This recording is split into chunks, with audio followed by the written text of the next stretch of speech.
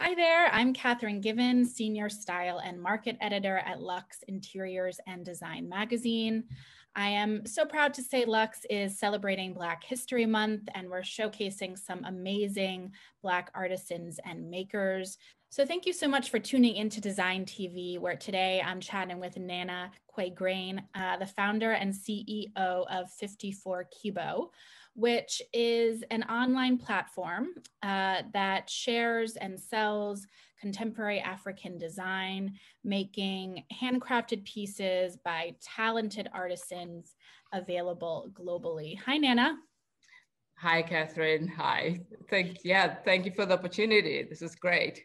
Thank you so much. So I know that you know 54 Kibo does does so much more than what I just mentioned, but before we dive into chatting, I'd love to give our viewers just a, a brief background on you. So you were born in Ghana uh, and raised mm. in South Africa. Yes. Uh, before moving to the U.S. to attend Harvard Business School mm-hmm. and eventually starting, you know, 54 Kibo but you've had such a broad range of careers from metallurgical engineering and strategy consulting in South Africa and Botswana to investment banking at Goldman Sachs in New York mm-hmm. and managing an infrastructure fund on behalf of South African's public pension fund. Mm-hmm. So clearly Nana, you've had, you know, a lot of varied career and life experiences. So, you know, what led you to start 54 Kibo? Um, th- thank you again. You know, uh, I think there's always the the sort of commercial part of the brain, right? And the the looking for the opportunity and the mission part of the brain, and there's always the personal side. Certainly. On the commercial side, it just seems to be sitting there. You know, there as a, as I was uh, doing my work, going to all these the countries in Africa looking for investment opportunities, which are really focused on infrastructure, transportation, uh, telecommunications. Um, I also notice you also see the design around you, right? People come into your offices and they dress the certain way. You go into office buildings, you see the furniture.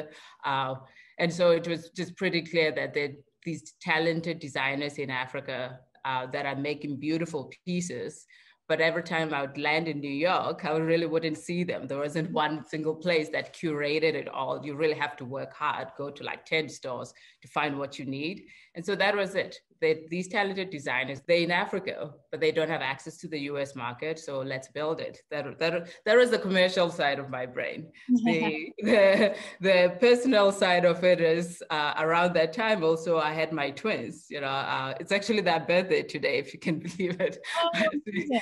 yeah, so they just turned four.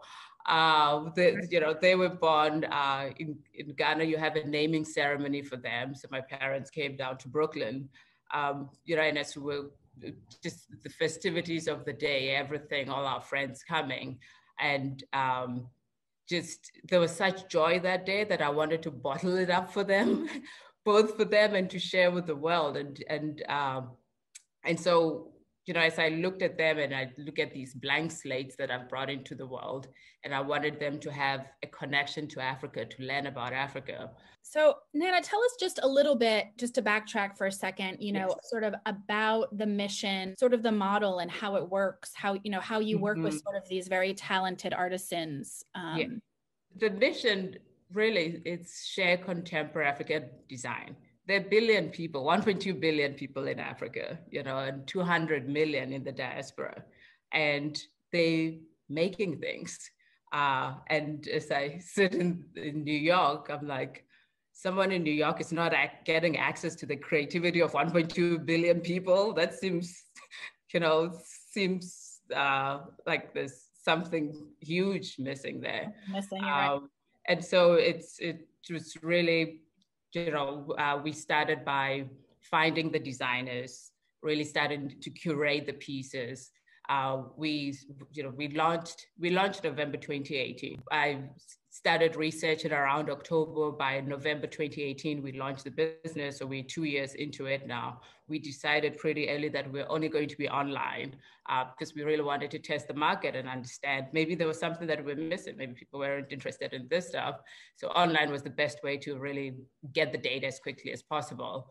Um, we focus on it's everything for the home so lighting wall art um, you know tabletop furniture it's really whatever you need to to um, to decorate your home, right? Um, and so, yeah, yeah. I feel like I'm, yeah. Go ahead. Mm-hmm. You you work with so many amazing artisans. Um, yeah. You know, for our viewers, you have to check out this platform. It's so inspiring.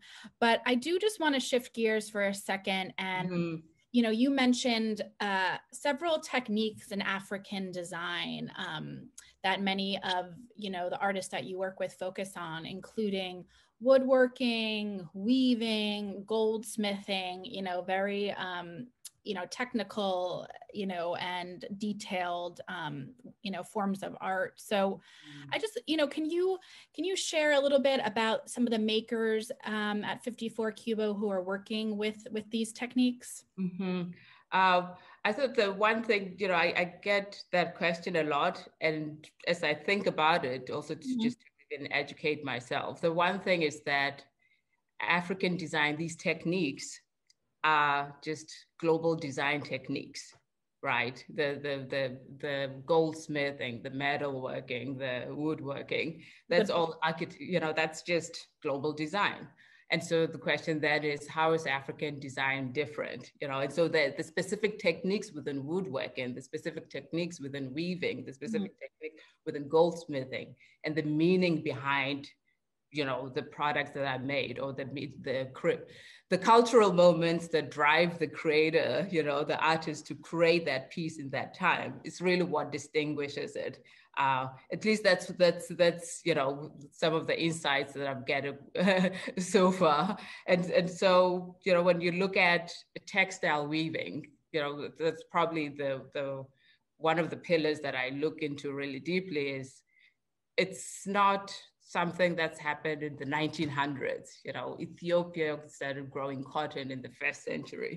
You know, the 11th century, you had textile, the strip textile weaving in, in Ghana and Ivory Coast, all along the west, uh, west coast of Africa, uh, the indigo dyeing pits in Nigeria wow. you know, have been there forever and they're still there now. You know, we, we see a lot of indigo dyed cloths in the US now, but it's mm-hmm. it's centuries old. Um, and so we, we use that to guide us, but it's not really, we're not trying to look at history and just be like, oh, that's so great. It's what, right. what are the creators using now to make the stuff that's exciting today? It's interesting. I guess, I guess every region. So, you know, when I think about the textiles, probably one of the pieces or, or weaving specifically that the modern gesture pendant lighting, for example, um, you know, that's probably one of our top sellers. And when I hear people talk about it, they they just haven't seen a shape like that. They haven't seen the shape with the weaving like that. Uh, and yet I saw that piece and I was like, that has to be South African. When I saw it first online, I was like, that has to be South African. Oh wow, okay. So, you know, very. I could see then Ndebele, you know, rings in it. Um, and so when I spoke to the the the maker, the designer, and she was like, you know, this is what inspired us. I just thought we needed to have this piece. Woodworking uh, with Tekura in Ghana. It's a family-owned business. Uh, the mother and father started it. The do- the twin daughters are actually now running the business. Oh, I love that. and and they you know they take reclaimed wood from Ghana's the forest in Accra and so on.